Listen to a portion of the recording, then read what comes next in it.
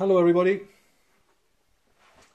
I have been asked by a couple of people and also a YouTuber named Sonny uh, quite a while ago to make a piece on, on, on this particular rifle but somehow I never get a chance to do it so here we go, this is it. I hope you enjoy it. Uh, just so it happens that Winchester 73 model is my favorite rifle as well of all times. I've owned several over the years. I still own four of them, but this is one of my favorite. In fact, my, one of my favorite rifles I'll ever own, uh, period. Uh, why? It's because of the several special features that this, this uh, rifle uh, has. Uh, most notably, brass stock, uh, stock plate, I should say, sorry. It, I've never seen one, one like it not even in the books, let alone auctions or, or, or shops or anywhere else. It's got seven leaf uh, express Winchester sight, one of the rarest sights on Winchester on, on this particular model. Uh, Beach front sight, uh, foldable gold wash beach style front sight, uh, and a set trigger. It's old rifle, was well over 100 years old. It was made in 1892, according to the serial number. Well worn, rusted, pitted, especially on the left side, I suppose, because it was stored that way. Uh, it's got very heavy barrel. Well, it seems heavy to me. I don't know. Is it is it heavy barrel? Because I know some of the 74s they had really nice and, and thick barrel. It's 24 inch barrel, octagonal, 4440, uh, Winchester centerfire. Uh, it's got a silver uh, inlay or cartouche, whatever they call them. Uh, never been engraved, as far as I can tell, never been touched. Uh, the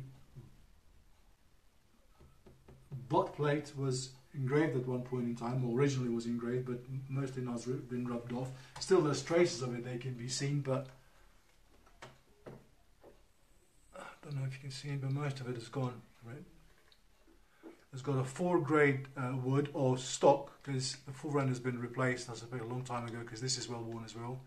It was checkered at one point in time, but now that you can barely make out the lines left. It was very fine checkering at one point in time.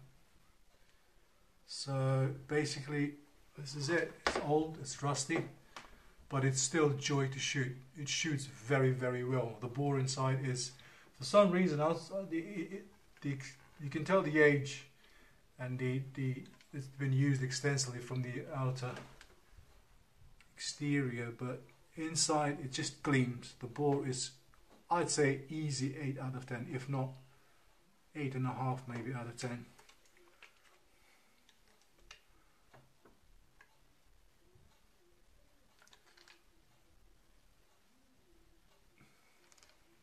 As you can see here, it's got six leaves and also the last one is a tangent which goes up to a thousand yards. I tested these, they, they, they work very well, they're very accurate, but for target shooting I use my Lyman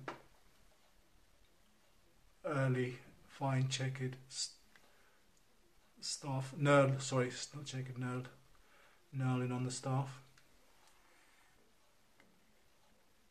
and it's just a joy to shoot. I use it regularly.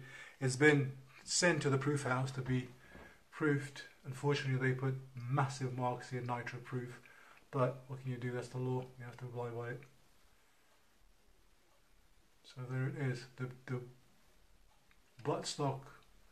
It's absolutely beautiful, and on the sun outside, if it's a sunny day, it's absolutely shines. You can tell, the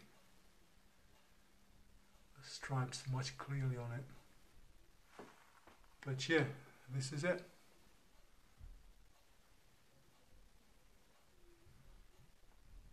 I don't mind the, the rust or the pitting or I use it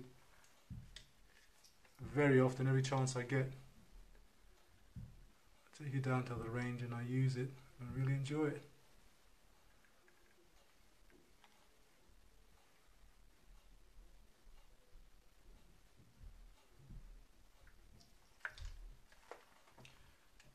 So I hope for all of you that like Winchester 73s, if you have anything to add or you want me anything to say, tell you about this rifle, if I know I will. And everyone who loves 1873 rifle, this is a must book. This was given to me by a friend of mine from the States, Samuel. I'm very grateful for it. I love this book. It's a must for everyone who loves Winchester rifles, and in particular 1870. There's a lot of data in, in there, a lot of information about this particular model. Uh, I hope you like the video. Anything you want me to tell you on this rifle or you want to see up close of it, oh, no problem. I'll show you the very first chance I get. Should have done this in the beginning. I checked. I checked the rifle before I started filming, so it's safe. It was all good. But I should have done that during as well. Okay, this is it. I hope you enjoy it. Have a good one. See you later.